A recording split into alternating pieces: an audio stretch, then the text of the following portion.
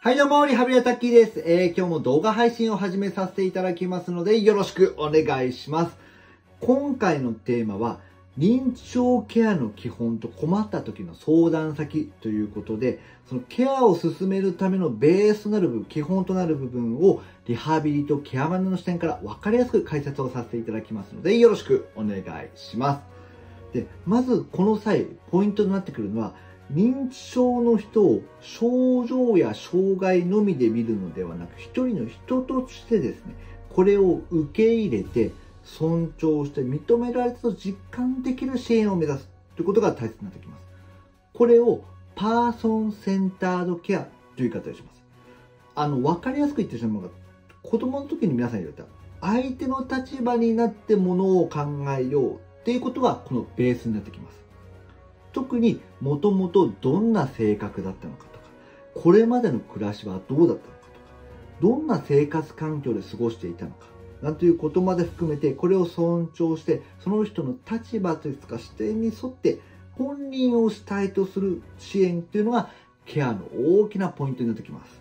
で、認知症、やはり脳自体の病気や障害ですので、やはり一部を除いて根本的な治療解決はやはり難しいという側面があります。なので、症状が進行をしてしまって、生活がこう崩壊をしてしまってからの状態となってしまいますと、やはり、あの、対応が難しいという問題が出てきます。場合によっては必要な診療をこう拒否してしまったり、金銭やコスト面の問題が出てきてしまったり、あとは家族ですとか介護者の方とこう信頼関係が崩れてしまうなんてこともやって大きな時間と労力がかかるということがあって負担も大きくなってしまいます。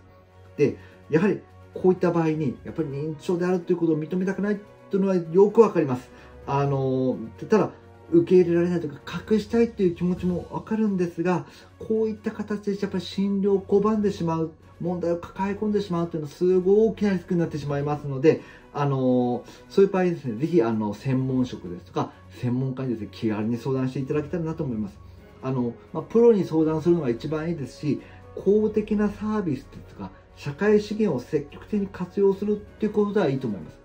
こういうことで敷居が高いというふうに思われがちなんですが、やはりこう、共に考えて、気軽に相談することのできる支援者としてですね、皆様とお付き合いをしていきたいというふうに考えておりますので、このあたりも含めて参考にしていただけると幸いです。で、実際にここからは、じゃ認知症の進行状況に合わせて、いつどこでどういうサービスを受け入れたらいいのかと。ケアに困った時の支援相談先についてですね、解説をさせていただきます。で、まず、認知症かなと気になる症状が現れたら、普段の健康状態を把握しているかかりつけのお医者さん、主治医というふうに言うんですが、に相談するというのが、まずは一番いいと思います。で、より認知症の専門的なケアが必要って場合は、例えば認知症サポート医とか、認知症専門医なんていう専門のお医者さんがいますので、そちらを紹介してもらうということができるかと思います。ただ、医師の診察を拒んでしまったり、診察コースも何かしらの支援がやはり必要であるという場合は、まずは行政、市区町村役所とか役場に行くという方法か、地域包括支援センターというところに相談するというのをお勧めさせていただきます。まあ、行政ですと、やはりあの高齢者ですとか認知症に関連する部署というのは必ずありますのでそういうところで例えば総合相談をして場合によっては虐待への対応であったりあの独居者支援なんてことも市町村で独自の取り組みをしているなんていうところもありますのでぜひそういうところも問い合わせてみてもいいと思います。それから地域包括支援センターというのは各地域、大体中学校を区ごとにあるというふうになってるんですが、認知症を含む高齢者の総合相談窓口です。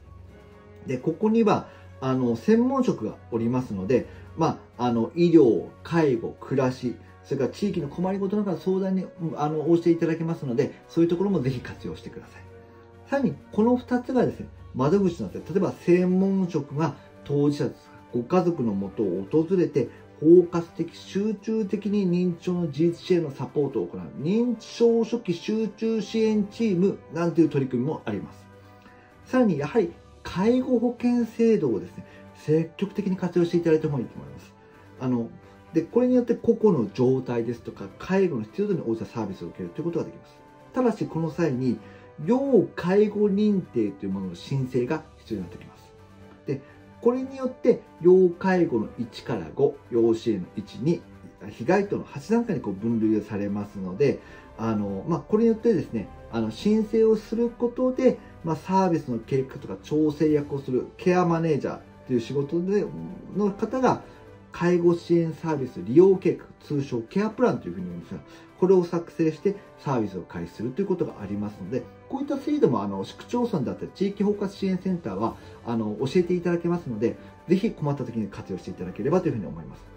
で、気になるのがサービスの料金なんですが、大体利用料の1割から3割、まあこれ収入によって変わるんですが、あるというところがあります。あと、ケアプランの作成費用については、あの、全額保険給付で無料になってますので、ぜひそのあたりも参考にしてください。